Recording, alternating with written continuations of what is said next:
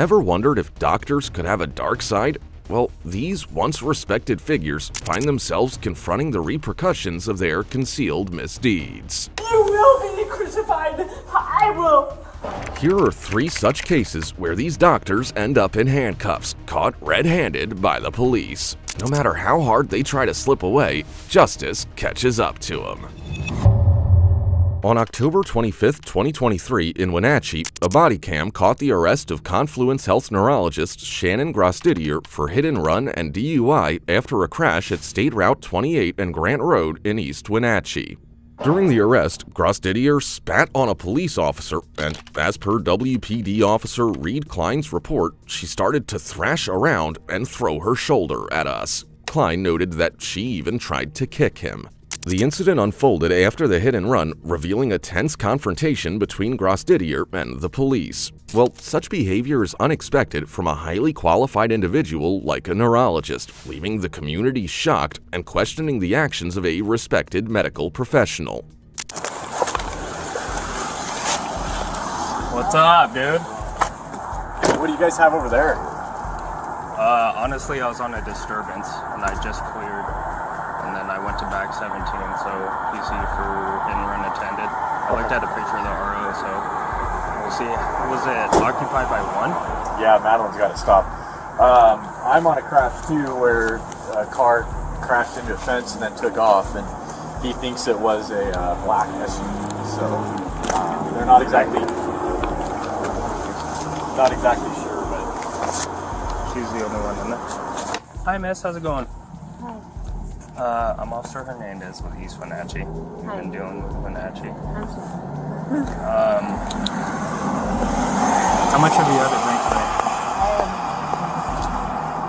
Huh? I haven't been. Okay, we'll do this. We'll have you step out. We'll talk up here on the sidewalk. Okay? No, we're not gonna do that. What was that? No, Okay. Well, you're under arrest either way. Okay. I'm under arrest for what? Hit and run attended. What do you mean? So you can step out of the car. I really don't want to have to pull you out. No, Okay. no, no. I Okay. don't. I don't understand what that means. All right. You are under arrest, so take your seatbelt off. Put that stuff over there. No, I'll be very patient with you. What do you mean by that? You're under arrest right now. And I don't want to have to take you out of the car. No, no. I didn't. I just didn't know were gonna come back. Okay. Okay. So take your seatbelt off. Awesome. You're doing great. Step Don't out, please. Oh, I wouldn't do that. Face away, please. What does that mean? Step out first. You said face away, please.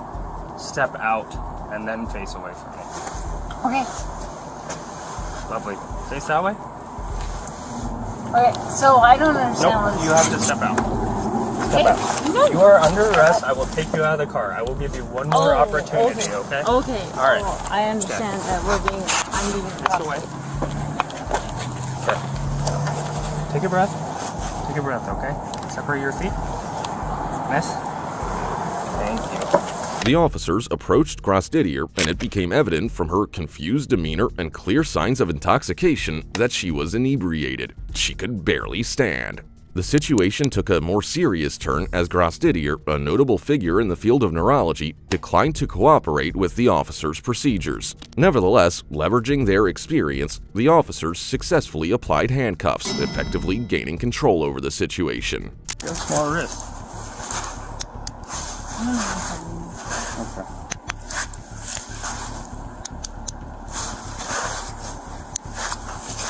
Alright, we're gonna go to one of these cars and I have to empty your pockets and read you something, okay? Right over here. No. But you didn't give me. I'll tell you a fourth time you're under arrest. We can talk about it over there. Okay? No. Okay, I will. I'll explain it to you, but we have to make it over there first. Okay? Thank you. Um. Well, more than one thing, but uh. But you didn't. Um. So you're gonna stand right here. Okay. You're gonna separate your feet. I don't I understand. guess what that's kind of hard right now. I don't understand. this what way. I've had people spit by me, so I don't want that to happen. But I don't understand what is wrong. I don't understand what is wrong. I don't understand what he did wrong. I don't understand what he did wrong. My rights are being violated. My rights are being violated. Absolutely I not. don't understand what I did wrong. My rights are being violated. My rights? You didn't read my rights. we're gonna go I pick feel your legs up. violated. I feel violated. Well, as you can see, Grosdidier's reactions convey a blend of confusion, frustration, and a perceived violation of rights. As the officers attempt to explain the situation and initiate standard procedures, she repeatedly asserts her lack of understanding regarding the alleged wrongdoing. You have the right to remain silent. Anything you say can be used against you in a court of law. You have the right this time to talk to a lawyer. I've been present with you while you're being questioned.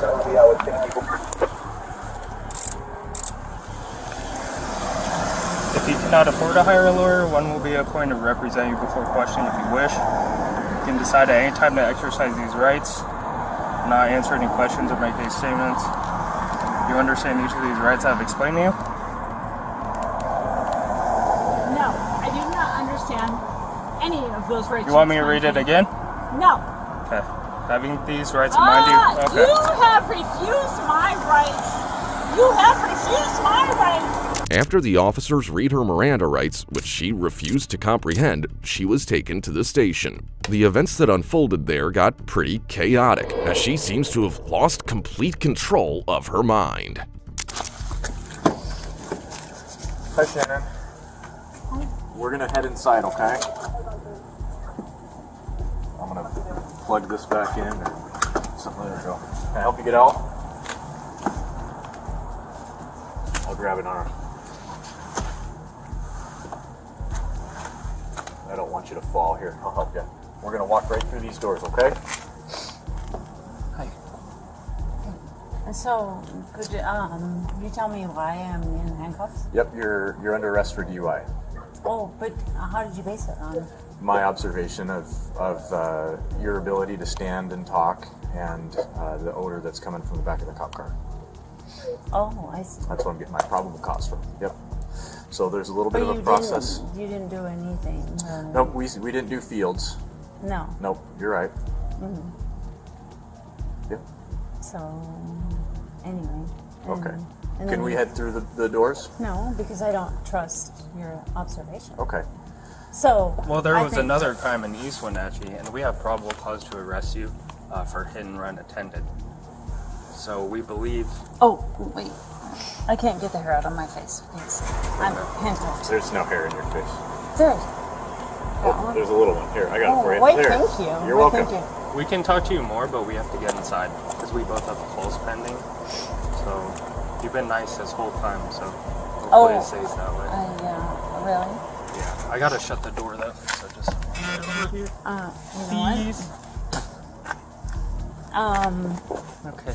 Shannon, can you step away from the car? And then, how about this? Do you want to do fields right now? Yep. sure. Okay, Sure. perfect. Because you haven't given me a chance at all. Okay. Well, I don't want you to behave like that. Oh, oh, but see, you know what? I don't have my phone to observe because. Our, like I said, our cameras are recording. Shannon, look, you, you're under arrest for what you're under arrest for, okay?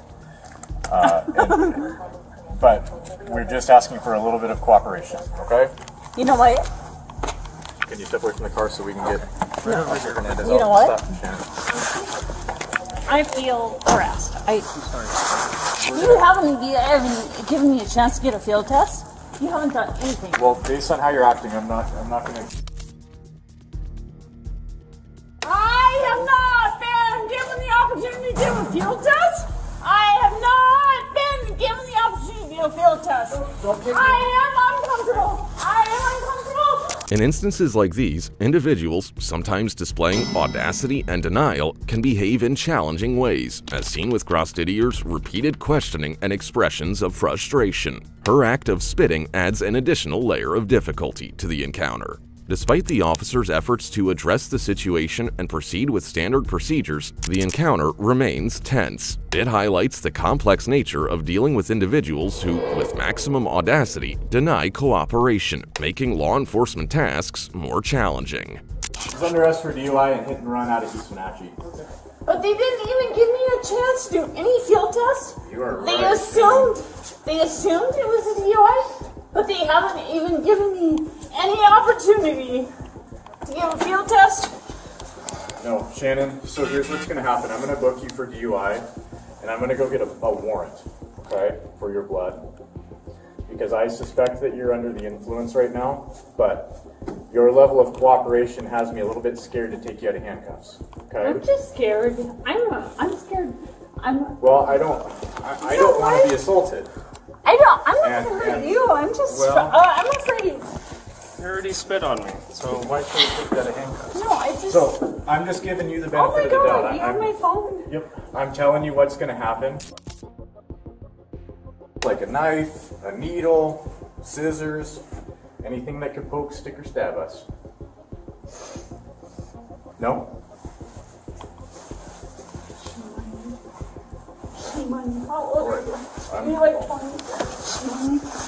On you both. Shame on you both. You didn't even do any sort of field test. You didn't do anything. You didn't do any field test. Shame on both of you. Shame on both of you. Shame on both of you. You will be crucified. I will. Shame on you. Shame on you. I did Okay, not Shannon, I have to check your chest. I'm gonna use the back of my hand. Oh yeah. Go for it.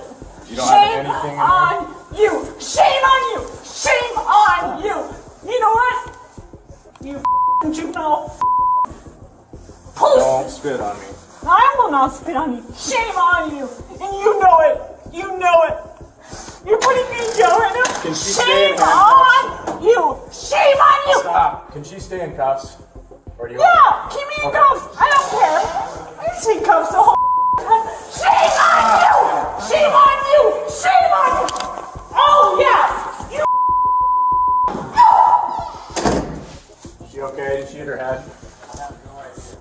In the end, Grosdidier faced charges of DUI and hit and run. Officers opted to book her for DUI and obtain a blood warrant due to her uncooperative behavior. Despite their explanations, Grosdidier still accused them of assuming her intoxication without a field test. Well, the frustration on the part of the officers is evident as they ushered her into a room at the end. Just like Grosdidier, there's another nurse who found herself in a tight spot, caught by the watchful eyes of the cops for driving erratically. But this story takes a different turn. Unlike Grosdidier, the nurse can't hold back the tears. I lost a patient tonight, and I had a couple drinks afterwards. On the evening of July 5, 2023, an officer on a routine patrol in Ohio noticed a Honda Civic exhibiting erratic behavior, swerving between marked lanes. Suspecting the female driver of being under the influence of alcohol, the officer decided to follow the vehicle. Upon initiating a traffic stop, the officer engaged with the female driver, who promptly identified herself as a nurse. The driver openly confessed to the officer that she had recently lost a patient and as a result had consumed alcohol. Disappointingly, the SFTs confirmed the driver's poor performance, strengthening the officer's suspicion of DUI and leading to her arrest. I've had a couple drinks. I am an RN at emergency department. Okay. Um, I lost a patient tonight, and I had a couple drinks afterwards. I'm sorry to hear that. So, And I'm just driving to his house to make it home. okay. So how much? Literally like a couple doors down. I've only had like four beers. Okay. So what we're going to start off with is I'm just going to do a couple of different things to try to gauge your level of impairment. Okay. Um, it's not illegal to drink, but it is illegal to be too impaired to drive. Okay. All right. Do you know the alphabet? Yeah. Okay. So can you recite the alphabet beginning with the letter J and ending with the letter S? J K L M N O G H I J K L M N O P. Okay. So the next thing we're going to be doing, 322, uh, blackmail. can you watch me real quick? So can you watch me real quick? I'm going to demonstrate the next thing that we're going to be doing, okay? So what I want for you to do is one, two, three, four, four, three, two, one. One, two, three, four, four, three, two, one.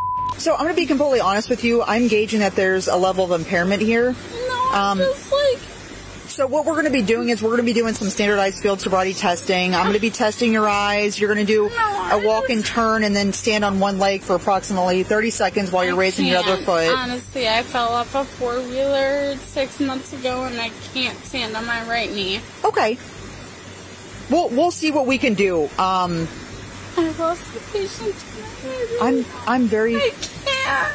I'm very sorry to hear that. However, um, like I said, I do believe that there's a, a level of impairment here, and I don't think that you're safe to drive. Okay, so I need to. Okay, then don't let me drive. Just let me, like, drive Okay. me home or literally Okay. a couple So times so what I want for you to do is just try to breathe, okay, and then just shut off the vehicle and just stand by, okay.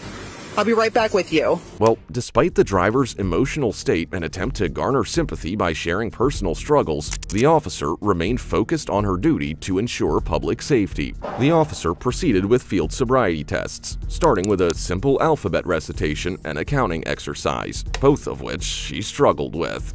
The officer observed signs of impairment and informed the driver that further standardized field sobriety tests will be conducted. Alrighty, you can go ahead and just leave all your belongings and stuff inside the vehicle, okay?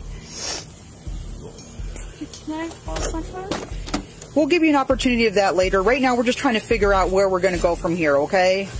And then you can make a phone call. I'm literally a nurse and I just lost a patient. Okay, so we're going to be coming over here behind the vehicle. Okay. All right, are you a diabetic?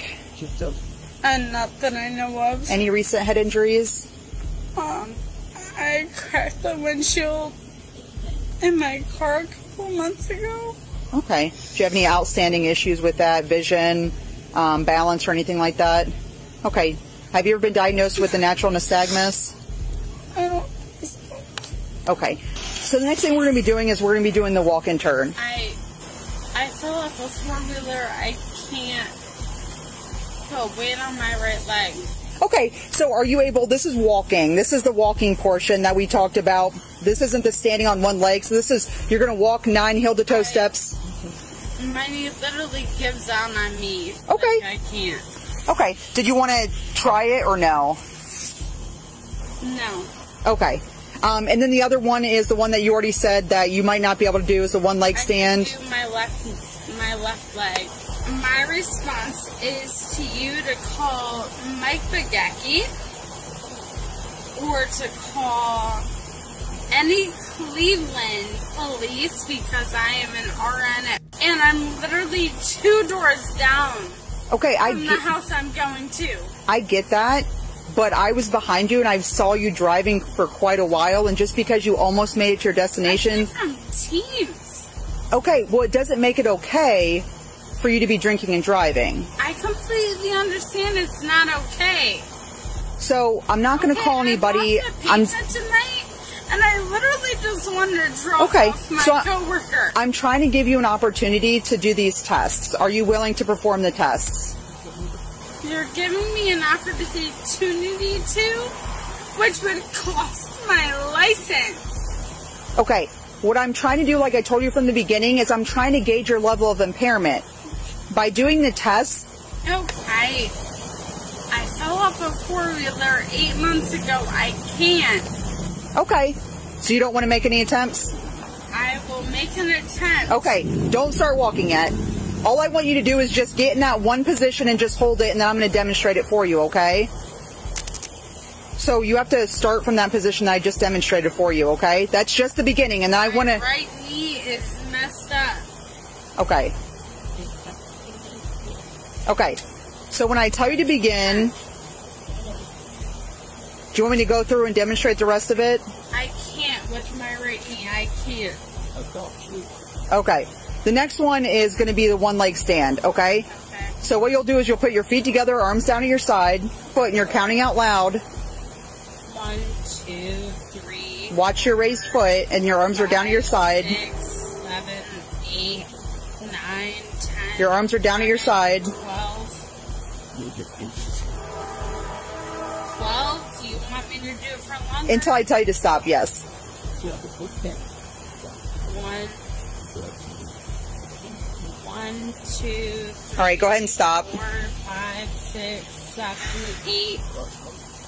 All right. Unfortunately, she performed poorly on these tests, reinforcing the officer's suspicion of driving under the influence. Consequently, the officer placed her under arrest. But that was not an easy task. All right, I'm going to be honest with you. Based off of everything, you're going to be under arrest for OVI. So turn around, put your hands behind your back. Please don't. You're under arrest. Drive me home. I, I'm don't. not going to drive you home. You're under arrest for OVI. So Please don't. I am a nurse. I will lose my license. Okay. Please do not. turn around and put your hands behind your back. No. We are past that point. No, I'm not.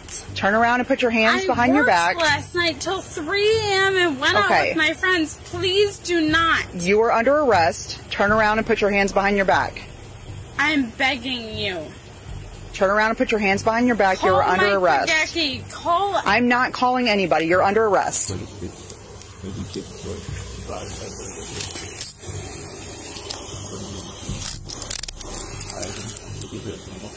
Give me this hand. Is there anything from the vehicle that you need? Do you need house keys? You need your wallet, phone? my purse, my phone. Okay, so did you give this officer permission to get that from your vehicle? I'm literally a nurse. Okay, stop pulling this. away. Stop pulling away. I'm away. not resisting. Please do not do It's this. it's past the point. You're under arrest. Okay, there's no negotiating it. I can't with my Okay. knee. That has nothing to do with it. You are ruining my life. Okay, you're ruining your own life. You shouldn't have been drinking and driving. You could have killed somebody. That's I was on the street I was. I have you going under to. arrest for OVI. I was on the street I was going Okay. to. Let me call my All right. parents. No, we're not making a phone call right now. Before you All right, we're walking back to my car. Turn around. Let me go. I'm not letting you go. you take 20, get 27 off the lineup. If you don't stop, you're going to be charged with resisting arrest. Why are you doing that? You're doing. Have a seat.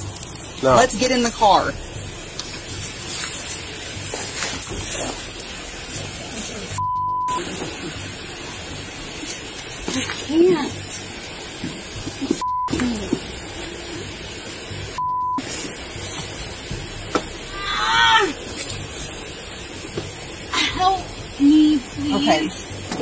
Lift up your leg. Please, my knee. I can't.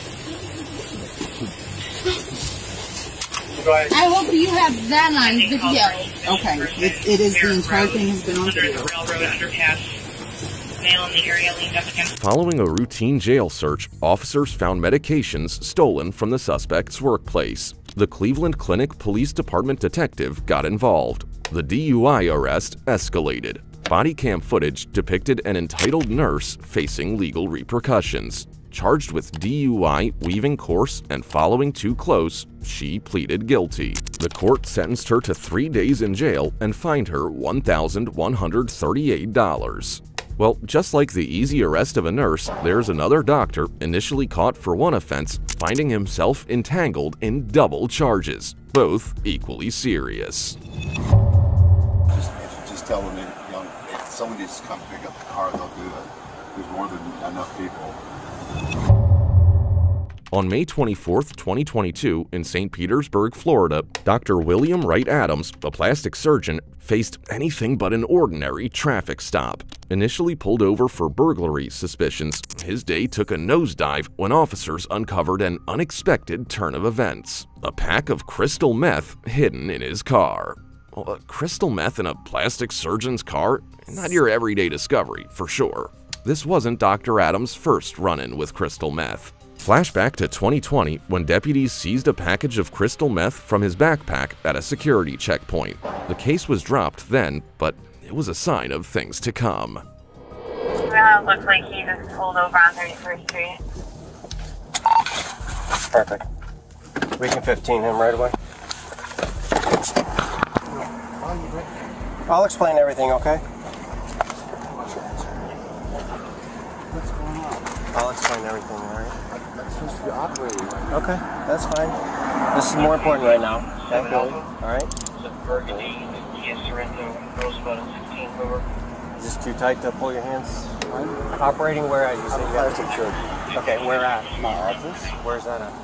You got anything in your pockets or anything? I don't think so. I'll check. I'll check.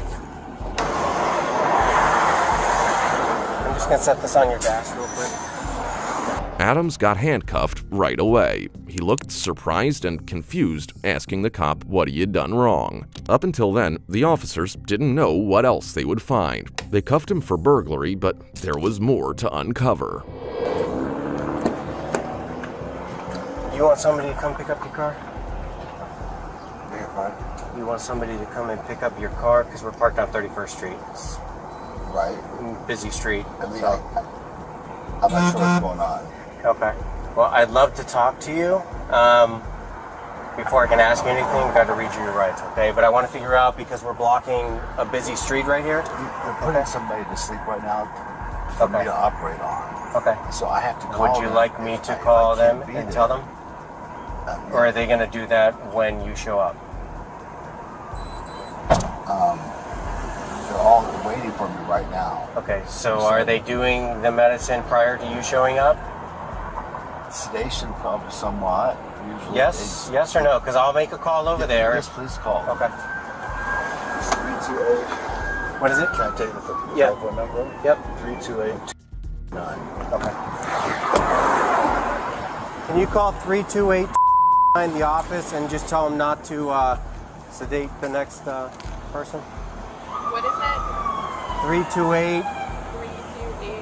What is it?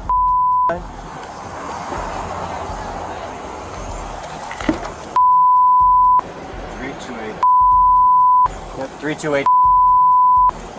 Is there somebody that can pick up your car, or are we just gonna yes, tow is. it? Yes, there is. Okay. Who is it? Uh, just just tell them, that, you know, if somebody just come pick up the car, they'll do it. There's more than enough people. Are you saying from someone from the office? Yeah, there's more than enough. He's saying there's more than enough people at the office to come and pick up the car. I know you probably have uh, no clue what's going on right now, but I think you have a uh, perspective of what I'm going to bring up that I'd appreciate um, statements for. Um, that's up to you. Um, I want to ask you specific questions, but before I do that, I have to read you your rights. Um, okay? We do that with everyone that's in custody. Okay? All right. Um, you have the right to remain silent. Anything you say can or will be used against you in a court of law. You have the right to talk to a lawyer and have him or her present with you while you are being questioned. If you cannot afford to hire a lawyer, one will be appointed to represent you. You could decide at any time to exercise these rights and not answer any questions or make any statements. Do you understand each of these rights I have explained to you? Having these rights in mind, do you wish to talk to me now? Uh, I would, my attorney, Kevin Hayslett. Okay. You want your attorney present? Yes, sir. Okay. What's a good phone number for, uh, you said Kevin? Kevin Hayslett. Okay. What's a good phone number for him? I'd have to look at my phone. Kevin Hazley? I can. I'm- Hayslett. Hayslett. Okay. Yes, sir. Okay. I'll look it up and see if I can get his office number or you have a better number for him. I think I, on my cell phone, I have his cell phone number. Okay. All right. Hang tight, okay?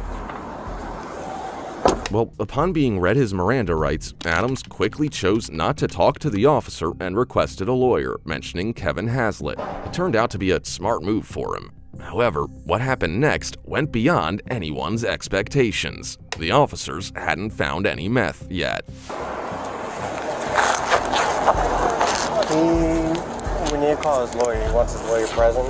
Um, Kevin Hayslett. Does Um, he know the number? he has a better number in here. I will get my Um,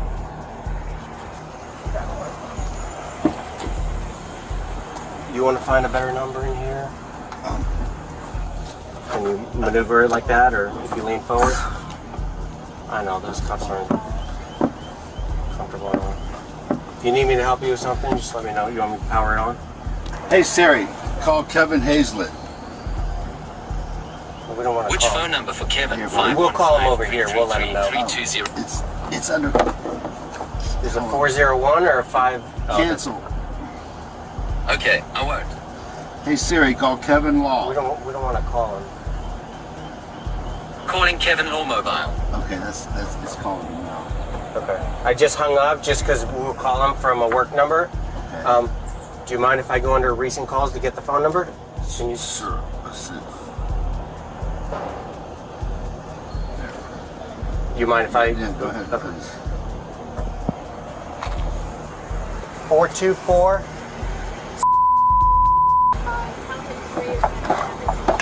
Cherie is handling everything. She said. Sorry. Can you? Uh, we lost the number. The screen, you know. Kevin Law. Yeah. But his last name is Hayslett. Does he want to talk to his lawyer with us? He said in the he did, room? so I'll I'll ask him again. Take him to the interview room and wait for his lawyer to show. Do you, because he's going to ask, do you want to talk to us while he's present in our interview room? Do I want to talk to Do you want to talk to me while your attorney is there Yes. in the interview room? Yes, sir. Yes, okay.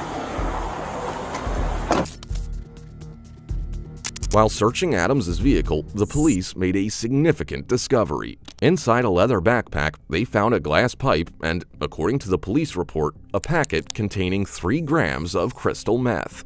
Well, the unfortunate turn of events meant that Adams, initially stopped for burglary suspicions, now faced additional charges related to the possession of methamphetamine. Think about it. A plastic surgeon caught with this stuff. Surprising, right? Who would think a doctor would carry something like that?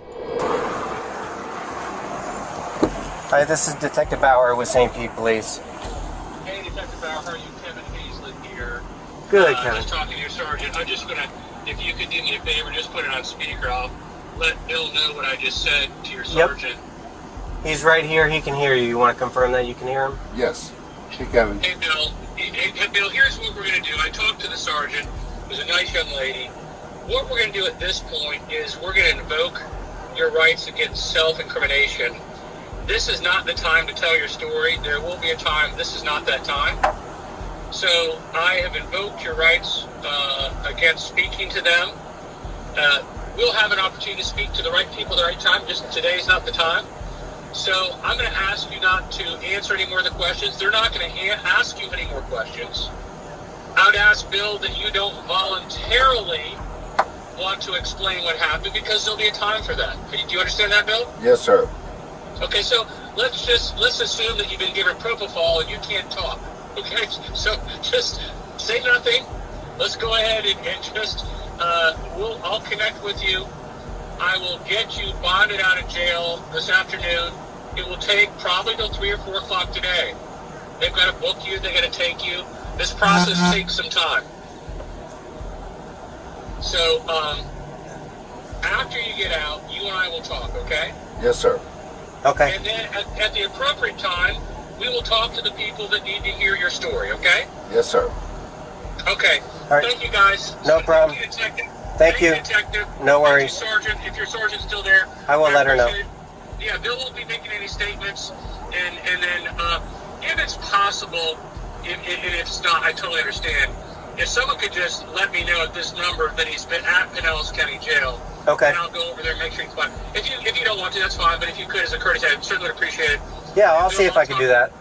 That'd be wonderful, and I really appreciate it. Bill, I'll talk to you this afternoon, okay? Okay. Thank you. Sounds good. Thanks, Bill. Take care. Thanks, you guys. All right. Bye. Dr. William Wright Adams was charged with possession of methamphetamine and residential burglary. Well, his first felony criminal case was dropped, but now he's awaiting trial on his second crystal meth possession case. His license status is clear slash active with no discipline or complaints.